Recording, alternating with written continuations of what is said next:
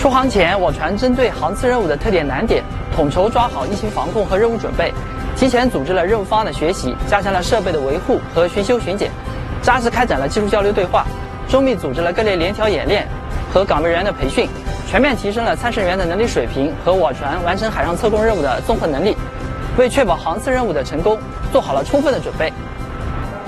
今年三月中旬，远望七号船凯旋回到母港以来，科学统筹各项工作，针对疫情防控要求严、设备维修难度大、任务准备时间紧等特点，以设备不带任何故障出海为目标，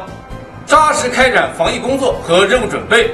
提前熟悉电子海图，更新气象数据，制定主备用航线，进行人员集中隔离、全船防疫消杀、设备维修维护、备本备价补充。和物资补给等工作，确保船舶安全顺利出港。